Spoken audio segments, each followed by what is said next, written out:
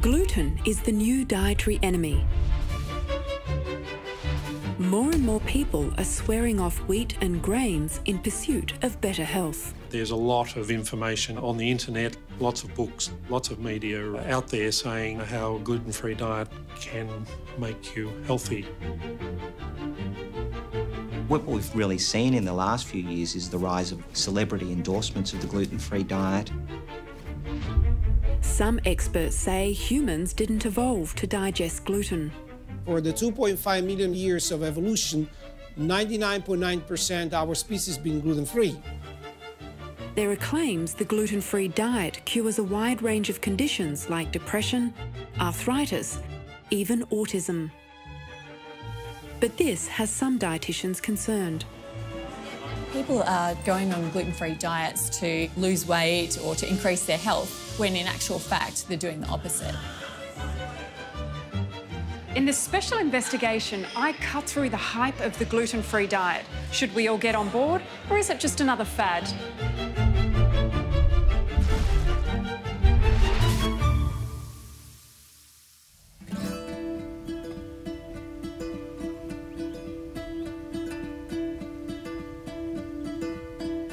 This is Australia's wheat belt, the food bowl of our nation, and the heartland of a multi-billion dollar industry.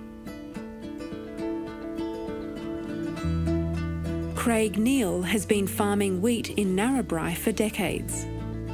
He says it's now the most widely grown crop in the Western world.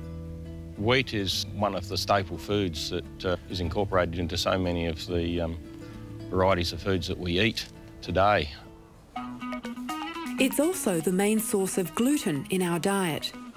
Bread, pasta, cereal and pastries. These products of wheat make up 20% of the calories we eat.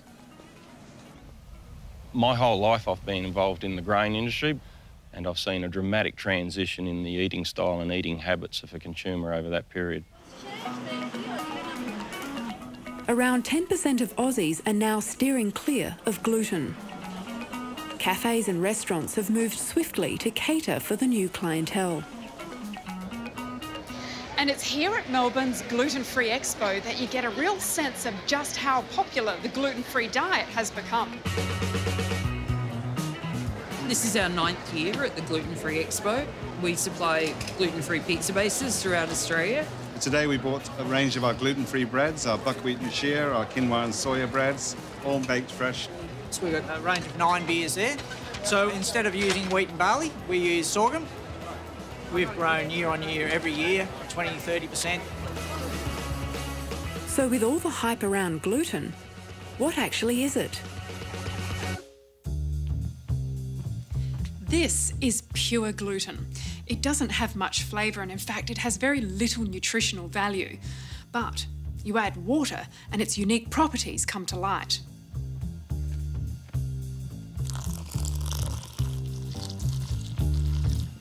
Gluten is a protein made up of two molecules, glutenin and gliadin, which form an elastic bond in the presence of water. Now, gluten is what makes dough sticky and flexible.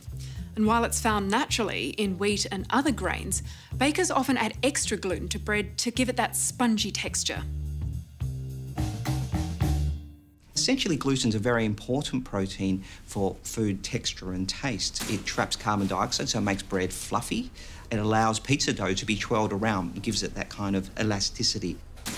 It just so happens, though, that parts of gluten may be toxic to the immune system in people with celiac disease. Gastroenterologist Dr. Jason Tai says even the tiniest amount of gluten can be toxic to someone with celiac disease. It triggers an abnormal immune response that leads to damage to a variety of organs. This includes the bowel, this also includes the skin, the joints, the bones, the nervous system, the liver. It's a very systemic condition. About 1 in 70 Australians, like Kirsty, have celiac disease. My first symptoms of celiac disease probably began about five years ago. I had a lot of symptoms like bloating, the diarrhea, joint pain, fatigue, dermatitis, but I didn't actually realise it wasn't normal until my doctor, four years later, sent me for a blood test to check for celiac disease, which came back positive. Kirsty is now meticulous about removing gluten from her diet. I find at home it's easy because I have all my safe food. It's more expensive, but I don't have to stress. I find eating out at restaurants and cafes or at family or friends' houses is quite difficult because I have to worry about not only did they use gluten free flour, but did they use a separate chopping board? Did they use a separate toaster? Did they wash the utensils? Did they use a separate deep fryer? That can be really stressful. It can make it hard eating out. Kirsty says that people who needlessly request gluten free meals in restaurants might diminish the seriousness of celiac disease. People may order a gluten free lunch, they may order a gluten free salad, and then they order the normal cake or they order a beer with it. And so other restaurant staff think we can do that too.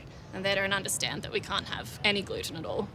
Even just one or two crumbs will obviously leave me sick with all my symptoms. Gluten unleashes its damaging effects in the small intestine. So these are actually sections of the small intestine under the microscope. On the left here you can see a normal healthy small bowel. What you can appreciate are these long finger-like projections which we call villi.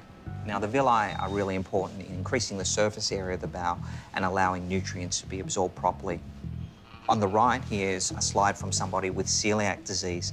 And what happens is that you get a lot of immune cells causing inflammation to the area, and this expands the tissue up and effectively obliterates the villi. So, this lack of surface area obviously results in some kind of malabsorption of nutrients? Exactly. So, this can lead to iron and other vitamin deficiencies. Is this damage reversible? Yes, it is. So, if a person's diagnosed and treated with a gluten free diet, this villus atrophy or the damage here can completely return to normal. So, is it just people with celiac disease who should be avoiding gluten? One of the world's leaders in the field of gluten research is Italian born professor Alessio Fasano. He's a paediatric gastroenterologist at Massachusetts General Hospital in the US. We, as a species, we are not engineered to eat wheat because for the 2.5 million years of evolution, 99.9% our species been gluten-free. Gluten came into the picture only 10,000 years ago with the advent of agriculture. As a result, the human gut reacts to gluten as if it's a foreign invader and mounts an immune response against it. We didn't know the details of why gluten is toxic until the recent past, when scientists worldwide start to really look at this undigestible fragment of gluten and to our major surprise, gluten is perceived by our immune system as a component of a bacterium or a virus and unleash the same weaponry that we use when we're under attack by an infection. As gluten enters the small intestine, it's recognized as foreign and an immune reaction causes local inflammation in the gut. This occurs because humans haven't evolved with the right machinery to digest it properly gluten cannot be completely dismantled because we don't have the scissors, i.e. the enzymes, to cut in pieces and then peel off the single amino acids.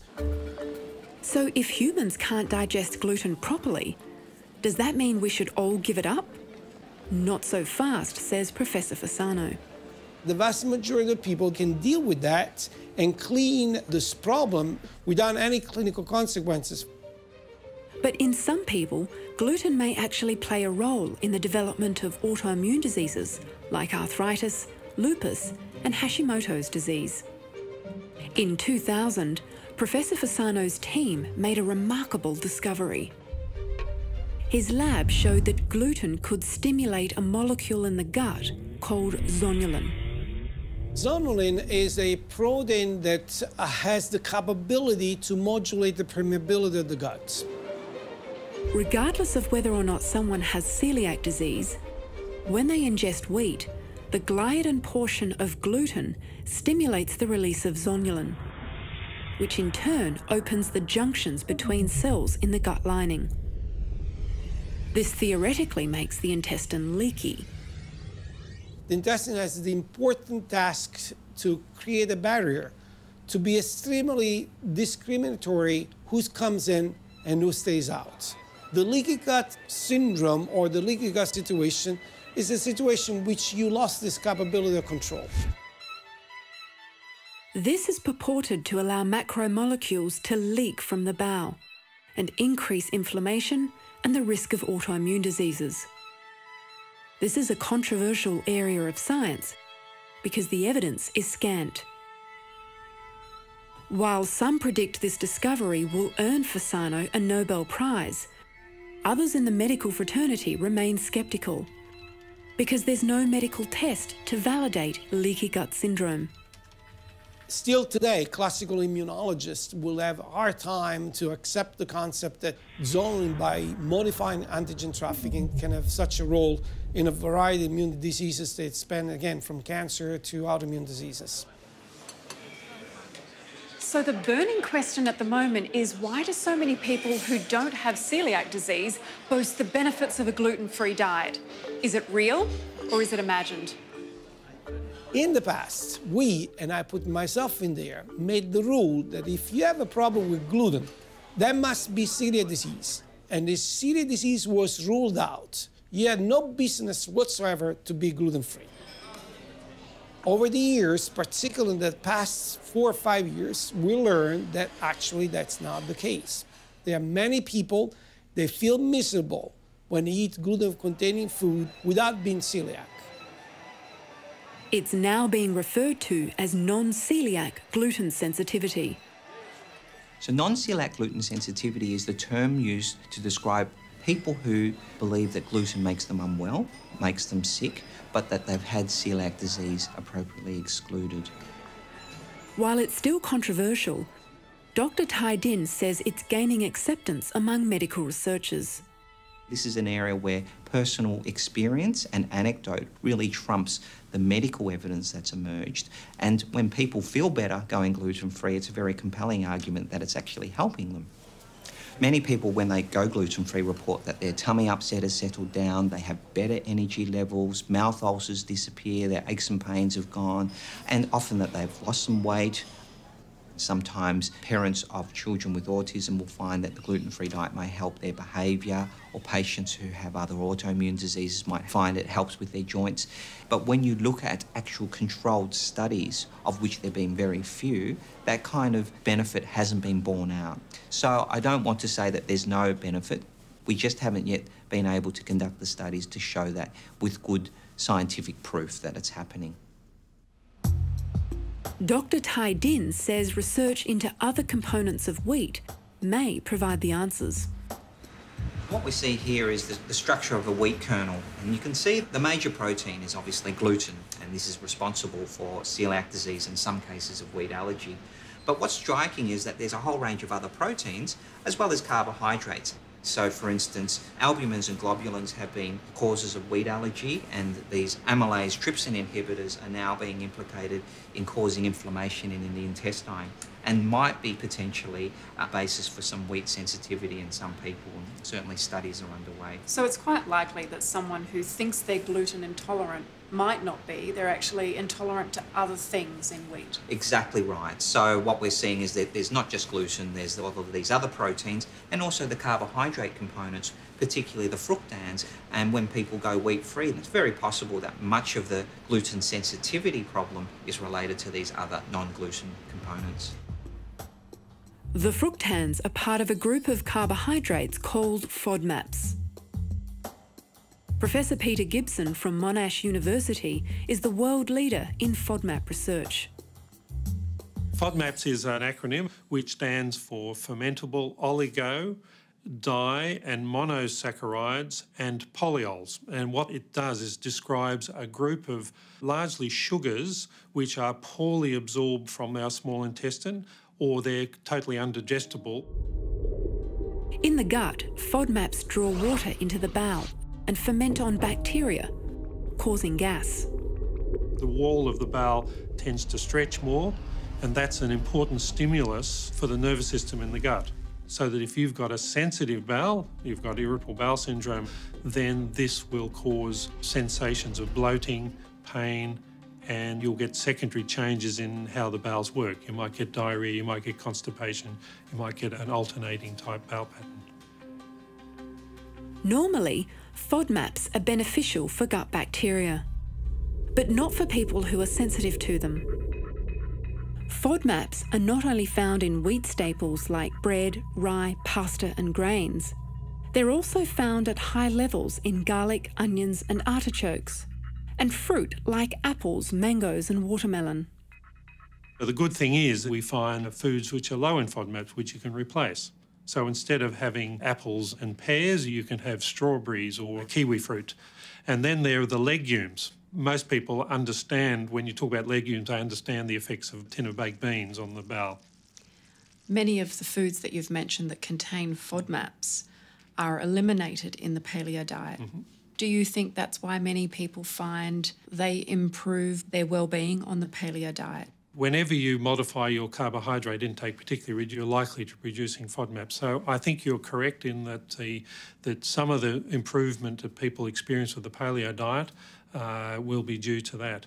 The problem with the paleo diet is that you're also restricting a whole lot of other things, which are unnecessary and they're not sustainable. Joshua has had tummy upsets as well as behavioural issues since he was a child. My parents have been really supportive. They started taking me to paediatricians since I was two, trying to find out why I had some of the issues that I did. Glad you came by. Oh, thank you. See you again soon. I had quite severe ADHD and I had headaches and other issues like that. Joshua's doctor suspected it could be something dietary related. Not knowing whether he was intolerant to gluten or FODMAPs, Joshua was put on a gluten free diet. His gut problems and his ADHD symptoms improved dramatically. Joshua assumed that he had celiac disease, but never had a definitive diagnosis. When I was 18 and went off to university, I decided to go off my diet and eat whatever, and I got really sick, just feeling so bad, really bloated, really sluggish, just feeling really unwell. And then I went back onto my diet really strictly. And so I went totally off of gluten, and I thought, oh, I'm feeling heaps better. Maybe I'm celiac. Maybe I should talk to my GP about this. Testing for celiac disease while you're still on a gluten free diet is problematic. Dr. Tye-Din says it often gives false negative results. One of the biggest problems I see in my clinic are patients coming in who've already started a gluten free diet, who feel better, but then realise they should be tested for celiac disease because they appreciate that it has important medical implications. And then I'll have to tell them, well, look, we can't actually test you with the blood test because it won't become positive even if you do have celiac disease because you're gluten free. One way to confirm a diagnosis of celiac disease is to have a genetic test. So Joshua decided that he should find out once and for all. He gets the results in a week. An emerging theory that might explain the rapid rise of gluten intolerance nowadays is the way in which bread is baked, the process of panification. The process of panification in the past was an overnight process in which you take the flour, you put the water, you put yeast in there, and then for 16, 18 hours, you have this dough growing. This overnight process would allow enzymes from the yeast to effectively break down the gluten, a process we're not capable of doing ourselves because we humans lack those enzymes. But bread making techniques have changed. What used to be an overnight process now only takes about two hours. Now, during these two hours, what you have is the enzyme we're not able to completely dismantle the toxic element, the gluten, and therefore, even if we eat the same kind of wheat, we have an increased amount of toxic component gluten that we ingest because of the fact that it not been dismantled during the panification. Wheat farmer Craig has another theory. He believes the rise of gluten intolerance has more to do with the modern techniques of processing wheat. He says the current methods of milling wheat may contribute to gut problems. It's a very highly refined process The endosperm and the starch are milled down and all the other ingredients within the grain are extracted and then they're added back in at whatever ratio or proportion the end product requires. This modern processing produces high volumes at lower cost and is commonly used for the mass production of the sliced white bread that you find in supermarkets.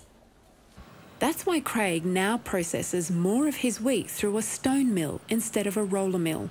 The whole grain goes into the stone mill and it is ground into flour in one process and the flour comes out the other side. It is a very simple process and there is no destruction to nutrition or deterioration of the grain through that process. Craig says the demand for this type of wheat is increasing. While it still contains gluten, he says there's no harsh chemical processing, and he thinks people might mistakenly blame gluten for their gut problems when it's likely to be their sensitivity to the chemicals used to process the wheat.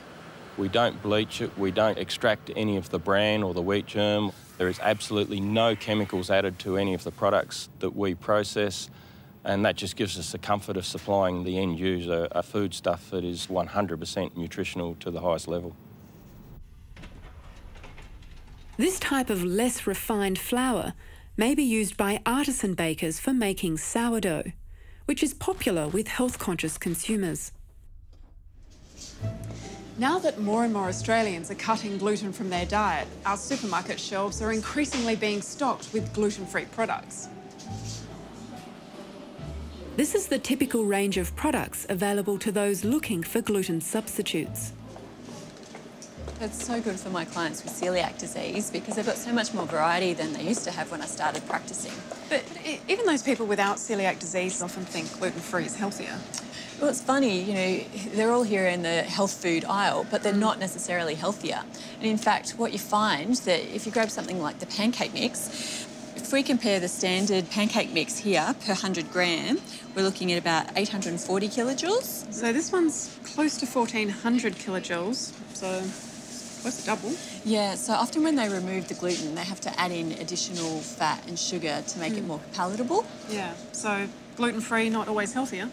Definitely not. Dietitian Melanie McGrice says people without celiac disease who insist on going gluten-free put their health at risk. Research shows that people who follow a gluten-free diet are at higher risk of nutritional deficiencies, particularly fibre and B vitamins, but also magnesium, calcium and iron. There's also research to show that it can have an impact on the microbiome as well. So I think that there is a lot of confusion that the gluten-free diet is healthier when in fact it's not. But Fasano says it all depends on how you go gluten-free. If you intend to go naturally gluten-free, so you don't use any substitutes, so you eat only fresh fruit, fresh vegetable, meat, fish, nuts, what you do is to embrace the diet that our species evolved with, and you can lose weight, and you're gonna feel great. But if you are talking about a gluten-free diet in which you indulge with gluten-free pasta and cookies and cakes and bread and beer, you will come back to my clinic, as many people with celiac disease they do, complaining that they gained 20 pounds since I saw them the previous time. Why? Because you substitute gluten with fat and sugar people really need to work at making sure they get an adequate balance of vitamins and nutrients and fibre in their diet. And at the end of the day, a gluten-free cake is still a cake. The my key message would be that if you don't need a gluten-free diet, you don't need to bother. But instead, focus on having a whole food, less processed diet and you'll still get the same health benefits. Joshua is returning to the doctor with his wife Carmen to receive his gene test results. Look, the last time we chatted, we talked about the fact that going on a gluten-free diet seemed to at least partly help some of your symptoms. So we've gone ahead and done the gene test, and I have the result with us today. Um, how are you feeling about things? Uh, a bit nervous. Are you? Yeah. yeah. Well, I've actually got some really good news for you. Your gene test has come back as showing you don't have the genes that give susceptibility to celiac disease. so, a great result. Ah, wow. Yeah. So this tells us that your susceptibility for celiac disease is very low and that the likelihood of the condition is less than 1%. That's yeah. awesome. Yeah, really good result. Being cleared for celiac disease means that Joshua doesn't have to be as meticulous about his diet. He will still reduce his FODMAPs, but doesn't have to worry about a strict gluten-free diet like someone with celiac disease. Low FODMAP diet is very different to gluten-free diet. Gluten-free diet means you've got to be a detective and you've got to find out where gluten is in everything that you eat and uh, everything you cook. You can't cook chips in the fat which had the fish batter in it because there might be gluten in it. Low FODMAP diet is just reducing the total amount of FODMAPs that you eat. So they're much easier to do because it gives you a lot bigger choice and you don't have to be a walking detective. It was fantastic to speak to Josh, and particularly with these really good results. Well, now we can say at least that the gluten that he believes was triggering his symptoms is not due to celiac disease. I guess sometimes there's always that fear in the back of your mind that if it is celiac, there are serious medical consequences of having that. And just really relieved that I don't have those and I don't have to be on a strict, strict diet. Probably can afford to be a little bit more lax with some of the dietary restrictions and not be too concerned if there's a little bit of gluten here and there. Yeah, it's really exciting. It's really good. I'm really happy. To learn more about gluten or the FODMAP diet, you can visit our website